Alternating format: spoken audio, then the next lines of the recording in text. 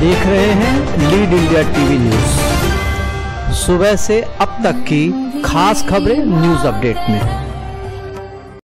नमस्कार, जय हिंद दोस्तों। जय प्रकाश जनता दल के सभी कोर कमेटी, में राष्ट्रीय अध्यक्ष श्री पंकज सहाय डिप्टी प्रेसिडेंट श्री शशिकांत सिंह जी, मैं उनके अनुमोदन के आधार पर आज मीरा रोड में डिप्टी प्रेसिडेंट श्री सत्य प्रकाश चौरसिया जी को जय प्रकाश जनता दल का महाराष्ट्र डिप्टी प्रेसिडेंट नियुक्त किया गया।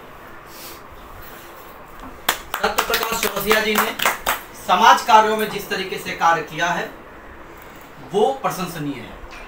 इन्होंने गरीबों के लिए मसीहा के रूप में उभर के आए मुझे ऐसा लगता है कि आने वाले समय में जो चुनाव महाराष्ट्र में किए जाएँगे, इनके नेतृत्व में किए जाएँगे, और मैं उम्मीद करता हूँ कि आने वाली सरकार हम बनाएँगे सरकार नहीं भी बनाएँगे तो हमारी हिस्सेदारी इस बार सरकार में रहेगी ये सत्य वचन के साथ सत्य प्रकाश चौरसिया जी का मैंने इनके कार्यों को देखते हुए मुझे लगता है कि इनके नेतृत्व में महाराष्ट्र में एक जन क्रांति का आंदोलन होगा जिस तरीके से जय प्रकाश नारायण जी ने संपूर्ण क्रांति का आंदोलन कहा था कि संपूर्ण क्रांति होगी, संपूर्ण क्रांति का अर्थ होता है शिक्षा से, गरीबी से, असहाय से, स्वास्थ्य से, हर क्षेत्र में जहाँ पे गरीबों गरीब असहाय है।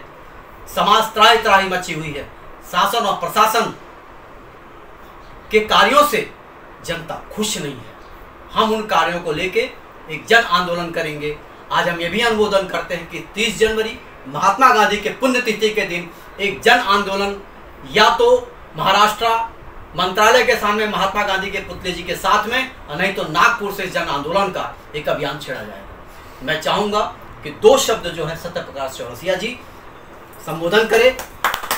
भारत माता की। जय। भारत माता की। जय। भारत माता की। जय। सत्य प्रकाश चौरसिया जी। जय।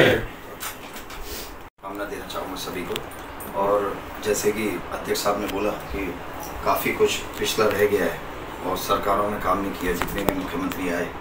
अगर हम भारी संख्या में चुन के आते हैं तो ये सरकार जयप्रकाश जनता दल की और उनकी आत्मा को बड़ी पूर्वक वो काम करेगी, जो शायद एक पुराने इतिहास सरदार पटेल से लेकर जितने भी ऐतिहासिक लोग मरे हैं, वो आज भी पूर्ण नहीं हुई है।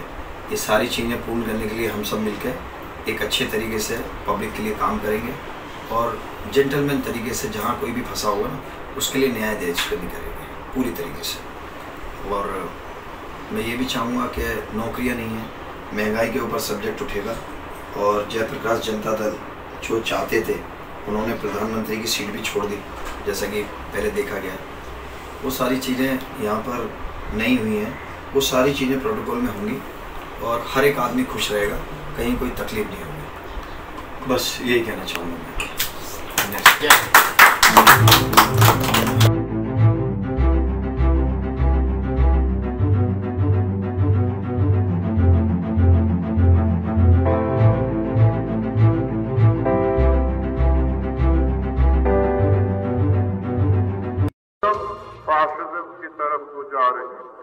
इसका जवाब क्या?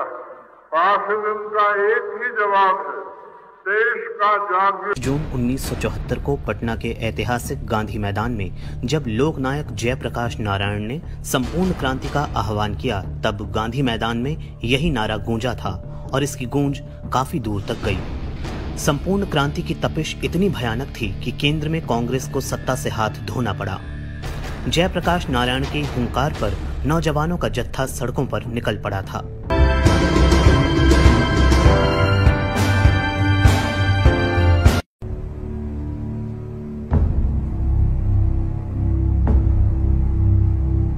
जय प्रकाश जनता दल।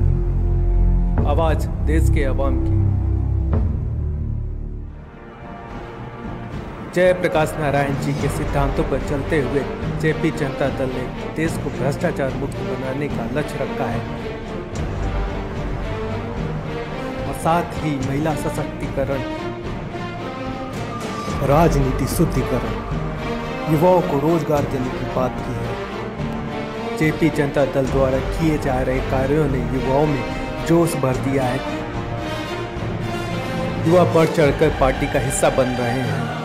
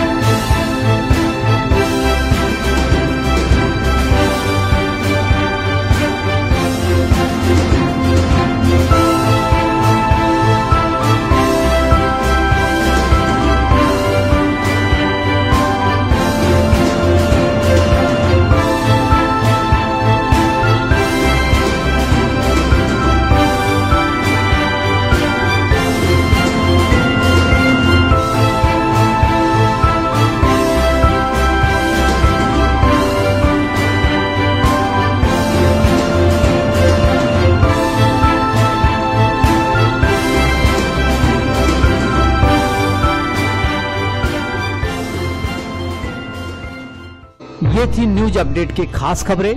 लगातार बने रहिए हमारे साथ। अब हमें दीजिए इजाज़त। कल फिर मिलेंगे न्यूज़ अपडेट की खबरों के साथ। देखते रहिए लीड इंडिया टीवी न्यूज़। जय Hind. Subscribe now and press the bell icon never miss an update.